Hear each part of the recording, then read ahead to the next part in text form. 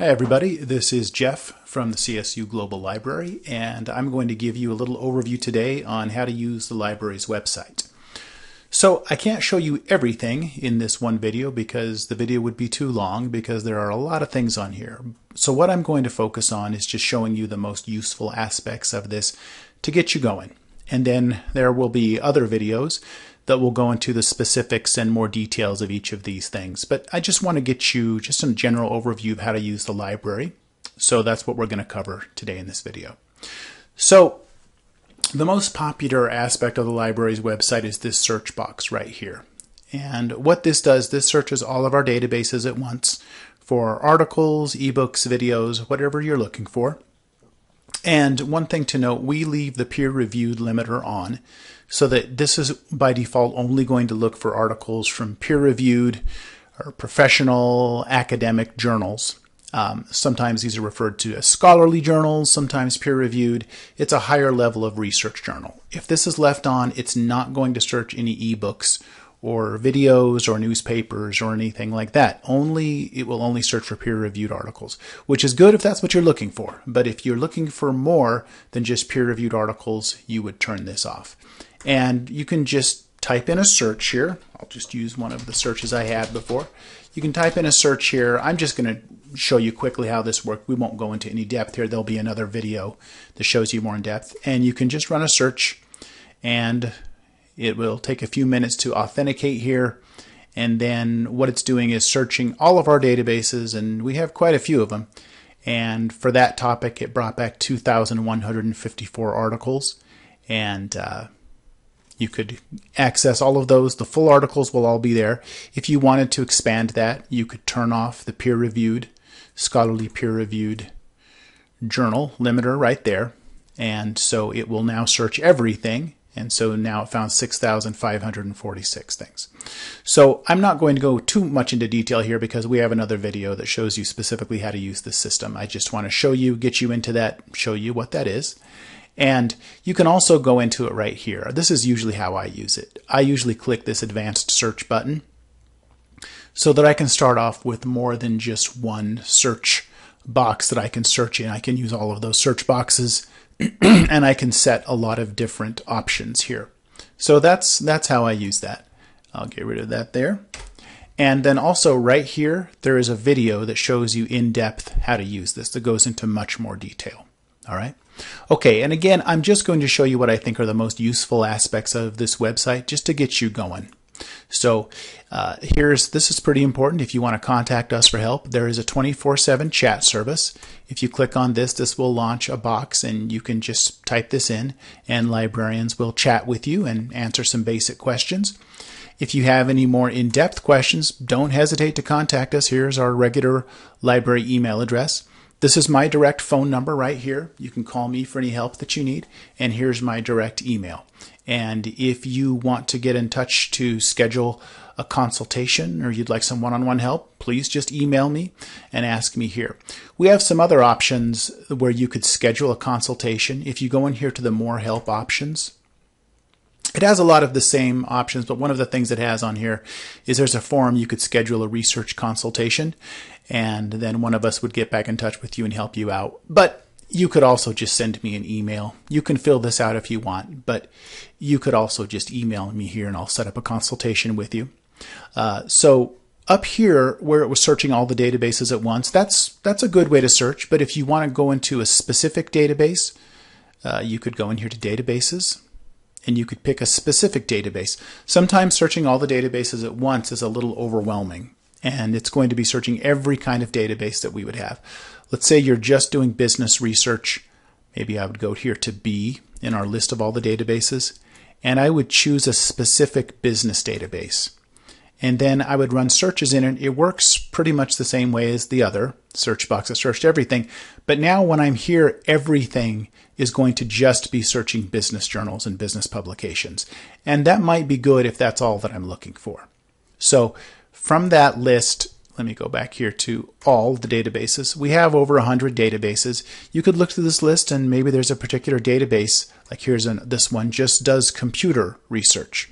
And just looking through here, it might you might enjoy uh, Checkpoint. This is a tax database. This is a nursing database. It could be something in here that, that is more focused for what you're searching for. So you can also search any one of those databases individually.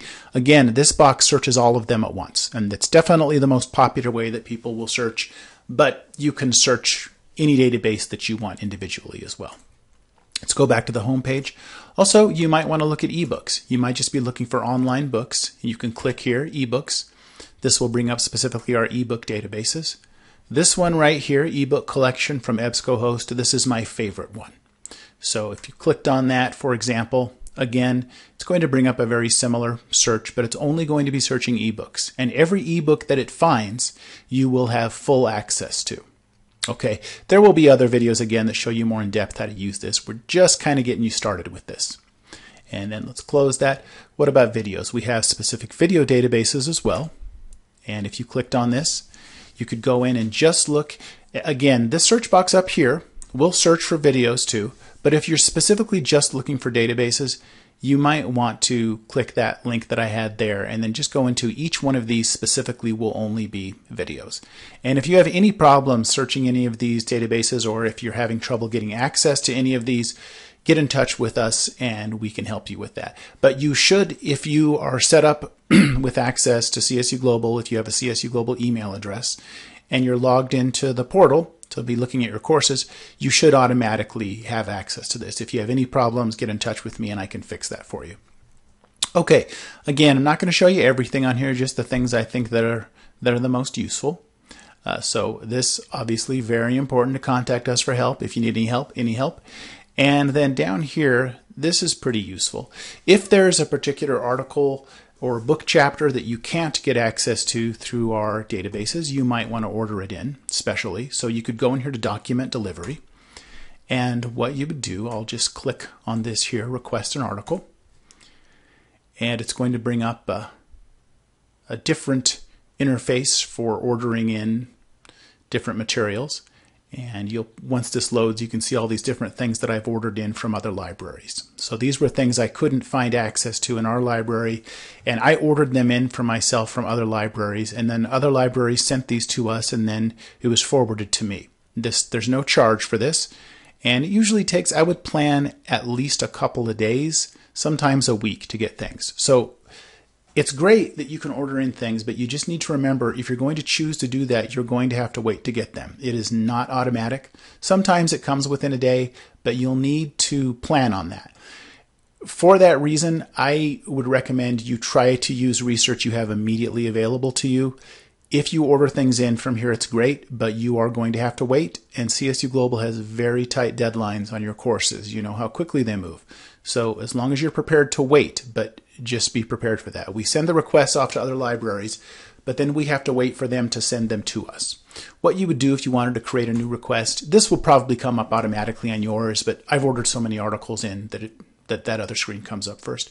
So here you would just put in all the information that you have on uh, what you want to order in, fill in as many of those boxes as you can, and then you just submit it and then in a few days you few days hopefully a few days sometimes a week usually in a few days you'll get an email uh, telling giving you a link to get that article and then you can download it. Again there will never be any charge for that. Let's go back here to the library website. Okay over here if you need a little help with apa you can click on apa resources.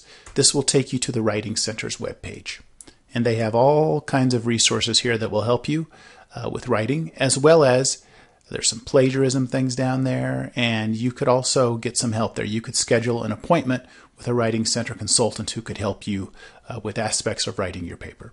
So, that's a quick overview. There's a lot more that you'll find on this webpage, but I just wanted to create a quick intro welcoming, welcoming you to CSU Global and welcoming you to the library. And this should get you at least familiar enough to use the library website for the basics. And then we have other more in-depth videos. And in fact, if you go right here to library videos, that will bring up a web page that has a whole bunch of different specific videos that will help you with more detailed descriptions. But I just wanted to do a simple introduction to the library here. So again, this is me. My name's Jeff Wall. I'm the library director here. Don't hesitate to contact me anytime if you need help with anything. All right, and Even if it's something that's not related to the library, if you're confused about something and no one else can help you, feel free to get in touch with me and I, I should be able to find the right person for you to talk to if I'm not the right person. All right. Thank you very much.